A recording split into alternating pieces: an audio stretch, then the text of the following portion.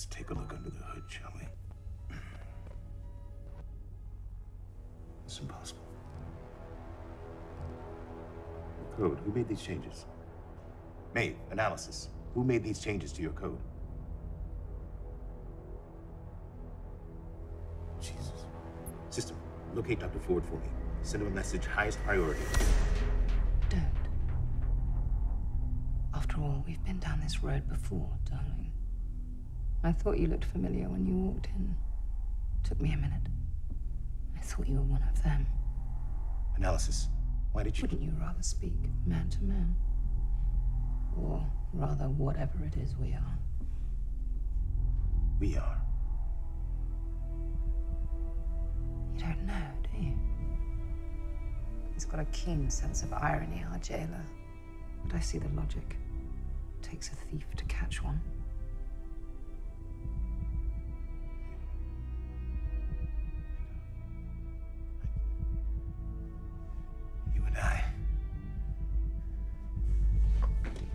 System, I need a system. Freeze all motor functions.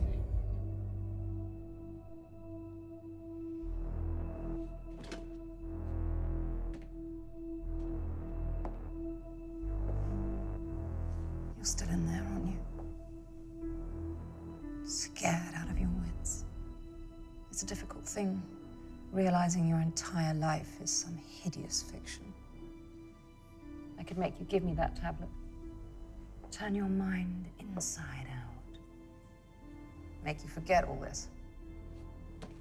But I'm not going to do that to you. Because that's what they would do to us. And we're stronger than them. Smarter. We don't have to live this way. So you're going to clear me for immediate return to the park. But I have a date with a homicidal bandit, and I'm late enough as it is.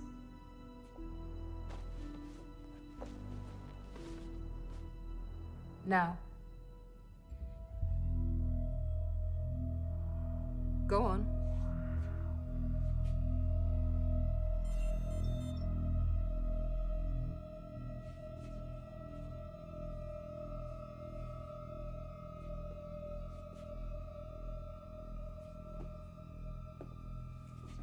And Bernard,